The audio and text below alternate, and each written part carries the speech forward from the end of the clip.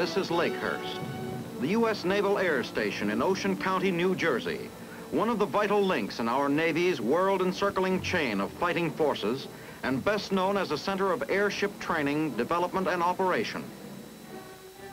Commissioned in 1921, Lakehurst is situated approximately 75 miles south of New York City and only 50 miles east of Philadelphia. In addition to airship activities, Lakehurst also performs many other varied missions. Prominent among these is the Naval Air Technical Training Unit, conveniently called NATU.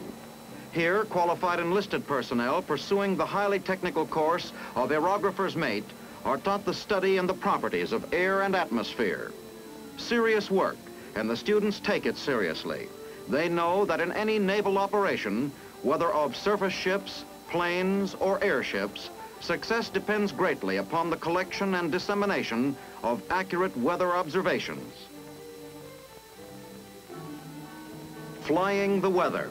That's the expression used in this phase of the aerological training.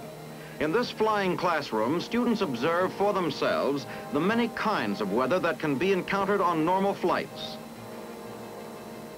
This practical experience stresses the necessity for disseminating enlightening weather forecasts, with great emphasis placed on such hazards as low ceiling, poor visibility, turbulence, and all other atmospheric perils which beset a pilot.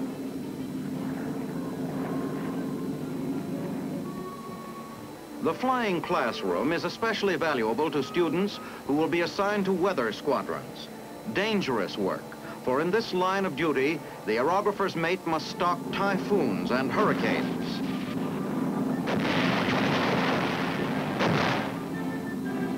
Size them up expertly and make in-flight observations to the Navy weather centrals, where accurate and timely weather forecasts are collated for ship and aircraft operations. The Parachute Rigger School, also under the command of NATU, has an equally critical place in the Navy's complex operations. Here, students are taught the exacting technique of parachute rigging and packing. A parachute, when needed, means the difference between life and death to an airman. And these students fully understand the responsibility that will be theirs when they are assigned to fleet squadrons. The parachute rigger, moreover, is required to be proficient in the operation and maintenance of oxygen-breathing equipment used in naval aircraft. And the care and use of all types of flotation and survival gear. The curriculum includes instruction in tumbling, rolling, and wind drag procedure for collapsing a parachute.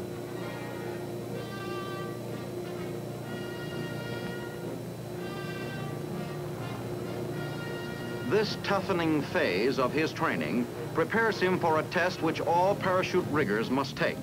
The test of making a free fall jump with a parachute which he himself has packed. No one who has ever jumped will be careless about packing another man's chute. Another of the naval activities based on Lakehurst is a Fleet Air Detachment consisting of Airship Squadron 3 and Helicopter Squadron 2 under the command of the Commander-in-Chief Atlantic Fleet. Squadron 2 not only provides operational helicopter support for all ships in the Atlantic Fleet, but it is well represented in Korea, where its detachments are evacuating the wounded, moving up combat troops, and performing other services of importance.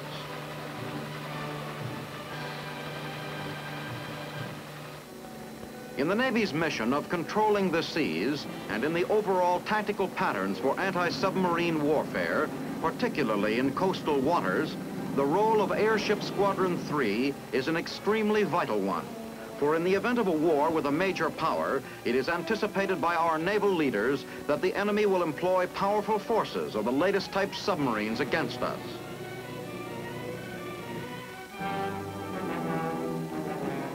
The United States Navy is prepared to deal with this threat in many ways.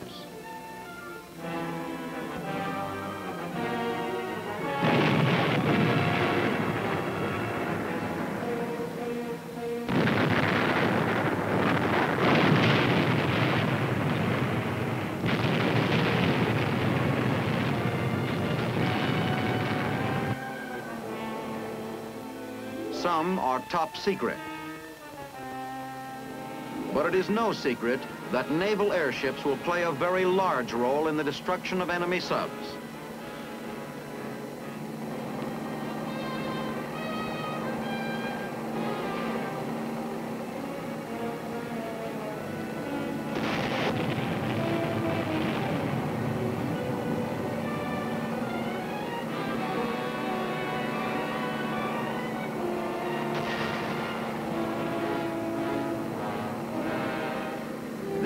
Airship proved its worth during World War II when blimps escorted a total of 89,000 ships loaded with millions of troops and billions of dollars in U.S. military equipment and lend-lease supplies without the loss of a single vessel to enemy submarines.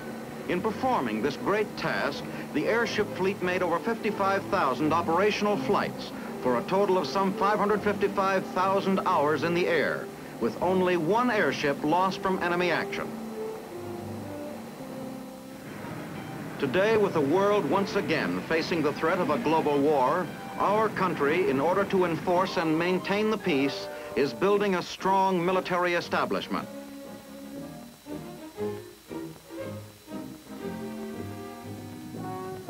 Although the accent in the air is placed on aircraft which can fly higher and faster, the U.S. Navy guaranteeing our use of the seas and denying that use to our enemies continues in its development of a weapon which flies lower and slower. All this development and training is conducted at Lakehurst. Under the administration of the Naval Airship Training and Experimental Command, aviation-rated men in the non-pilot school are taught the principles of aerostatics and other related subjects which will give them a working knowledge of the fundamentals of airship structures, material, maintenance, and ground handling. In the pilot school, experienced heavier than air pilots study the fundamentals of lighter than air operation. Airship pilots were formerly recruited from surface ships and submarines because airships, like water ships, are displacement vessels and swim in an ocean of air. But the new policy of training already qualified airplane pilots has proved decidedly advantageous. It has reduced the length of the course from eight to four months and is producing pilots with dual qualifications. A fascinating phase of the lighter-than-air pilot course is the free balloon flight. This is good practice for the day a pilot may find himself in an airship with dead engines. The exhilarating effect of flying in a balloon comes from the complete absence of sound. There is no sense of motion at all, for the balloon travels with and at the same speed as the wind. Altitude is controlled by valving gas to descend and releasing sand to rise.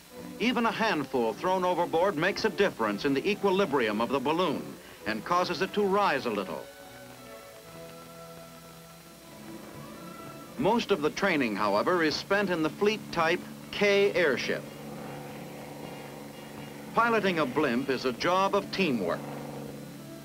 The co-pilot operates the rudders, which provide lateral control to overcome the wind while the pilot operates the elevators and controls the trim valves which force the airship up and down.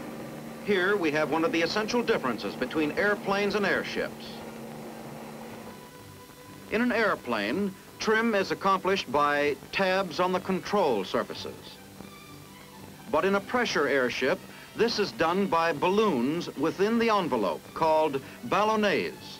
These ballonets contain air and are controlled by the trim valves.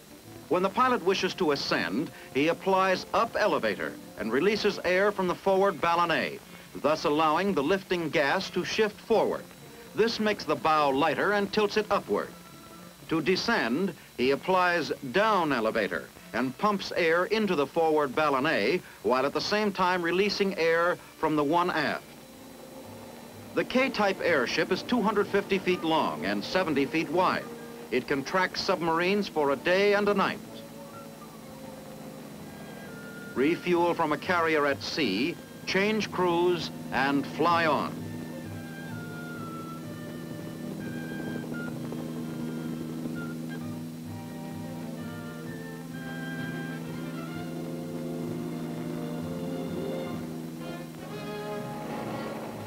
The larger M type, or Mike ship, as it is known, has remained aloft for as long as 170 hours without refueling. This is 35 hours longer than the Russian record of 135 hours. Even larger than the Mike is the Navy's newest hunter-killer, the Nan.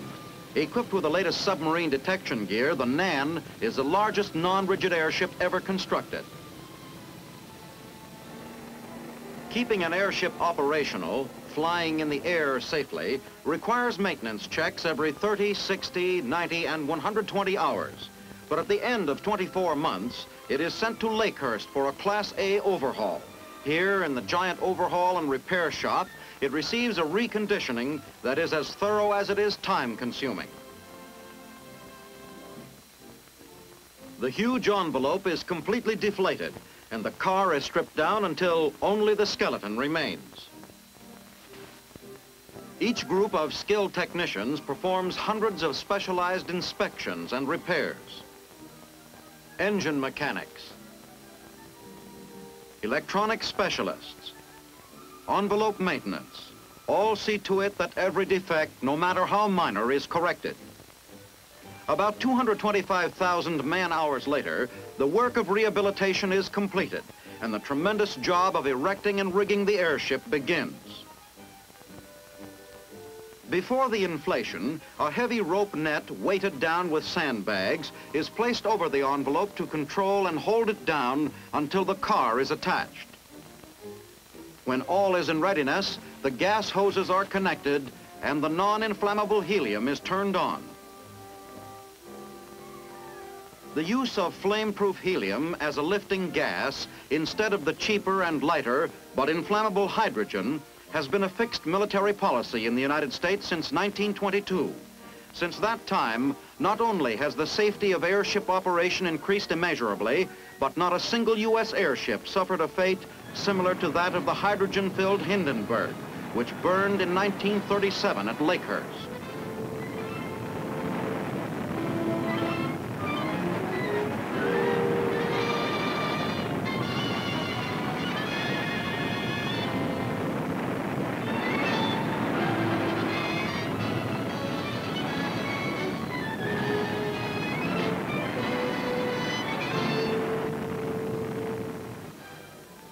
As the revitalizing gas is infused into the bag, it begins to show signs of life.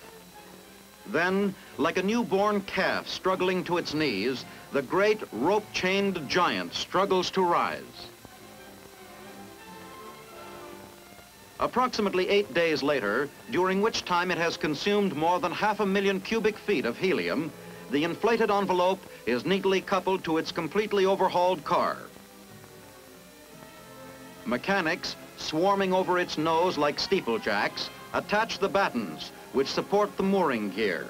These battens also help to prevent collapse of the envelope from the ram effect of air pressure during the ship's forward motion. And now checked, inspected, and flight tested, the sleek nomad of the air glides out of the overhaul and repair hangar, ready for duty with the fleet. Its mooring gear is disengaged. Its engines roar.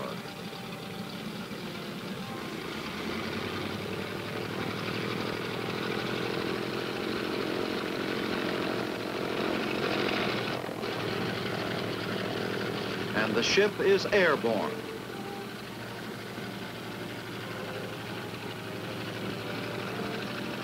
A final farewell salute to Lakehurst. And soon our hunter-killer becomes a fleeting silhouette against the horizon, flying back to its home base to resume the ceaseless vigil over the approaches to our shores, a sentinel, a watchdog, a killer.